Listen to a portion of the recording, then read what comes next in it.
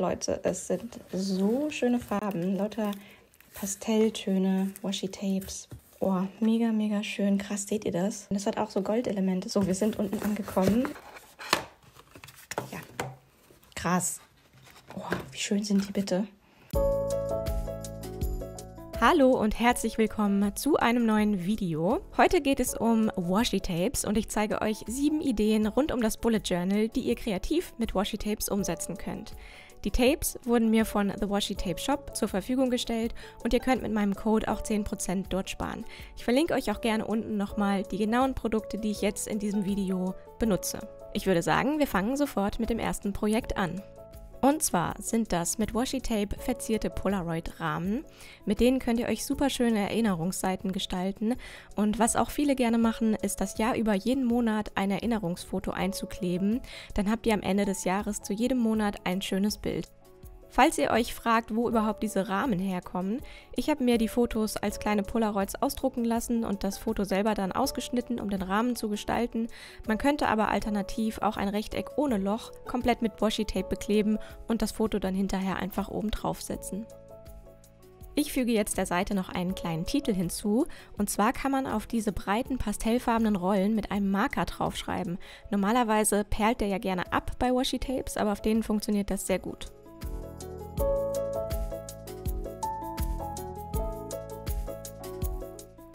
Als nächstes zeige ich euch, wie ihr mit dem Washi-Tape euer Wochenlayout visuell strukturieren könnt. Und zwar benutzen wir es jetzt als Bordüre und trennen damit optisch bestimmte Bereiche voneinander. Ich zeige euch das mal am Beispiel eines Dutch Door Layouts, wo wir ja oben den festen Teil und unten den flexiblen Teil zum Umblättern haben und beide Bereiche trenne ich jetzt mit einem Washi-Tape voneinander. Generell benutze ich als Bordüre am liebsten diese schmalen Washi-Tapes, weil sie natürlich nicht so viel Platz wegnehmen. Ich würde sagen, ich mache jetzt im Zeitraffer einfach mal diese Wochenübersicht fertig.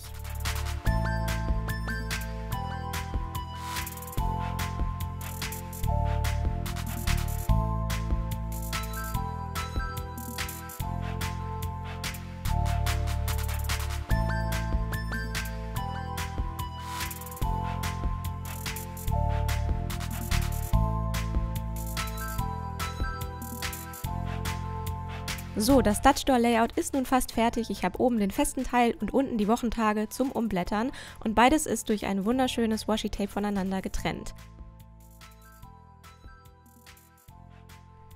Unser drittes Projekt heute ist das Washi Chart. Dabei geht es um eine Reflexionsseite am Ende des Monats, bei der ihr mit Hilfe von Washi Tape bestimmte Kategorien in eurem Leben auf einer Skala von 1 bis 10 bewerten könnt.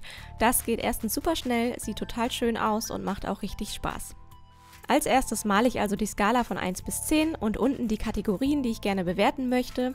Dann suche ich mir zwei Washi-Tapes aus, die farblich schön zusammen aussehen und vielleicht auch zum Monatsthema gerade passen. Und dann klebe ich die Tapes entsprechend so hoch, wie ich diese Kategorie bewerte.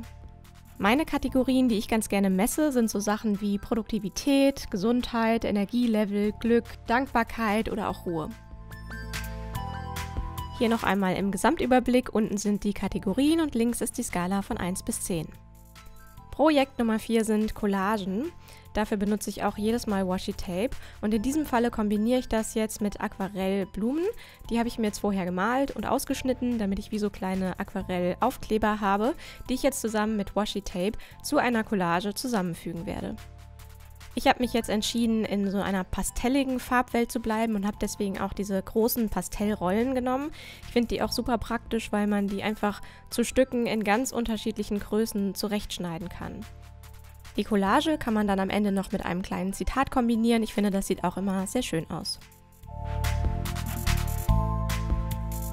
Bevor wir mit dem nächsten Projekt weitermachen, möchte ich noch einmal The Washi Tape Shop Dankeschön sagen und euch an den Code erinnern, mit dem ihr 10% sparen könnt.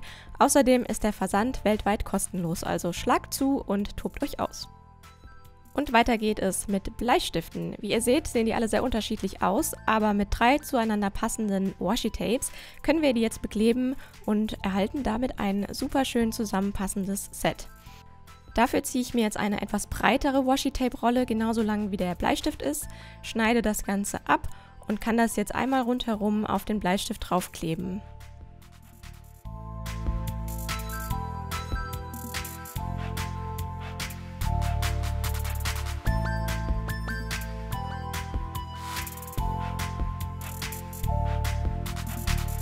Das Ganze funktioniert natürlich auch mit Washi-Tapes, die nicht so breit sind.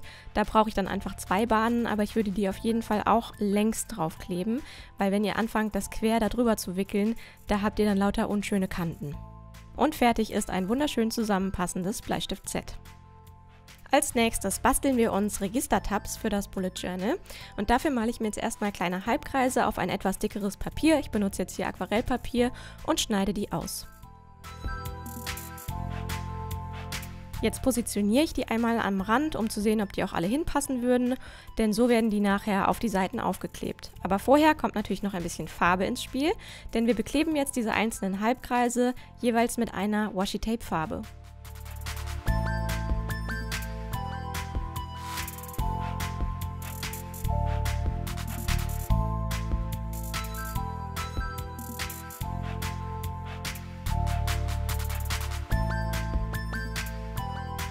Die fertigen Halbkreise können wir uns nun an den Seiten einkleben, die wir gerne markieren wollen. Ich habe das jetzt einfach mal exemplarisch gemacht, weil ich noch gar nicht so viele Seiten gefüllt habe in meinem Journal. So sieht das Ganze von außen aus und so kann man dann ganz einfach die Seiten finden. Die Tabs könnt ihr euch natürlich auch noch beschriften.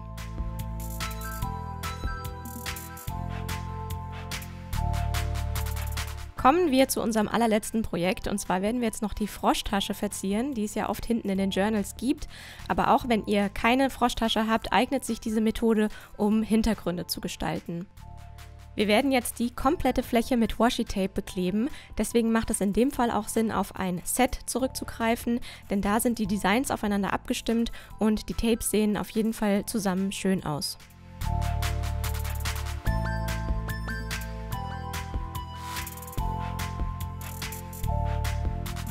Die überstehenden Ränder schneide ich jetzt noch einmal mit einer Schere ab und erhalte dann eine ordentliche Kante.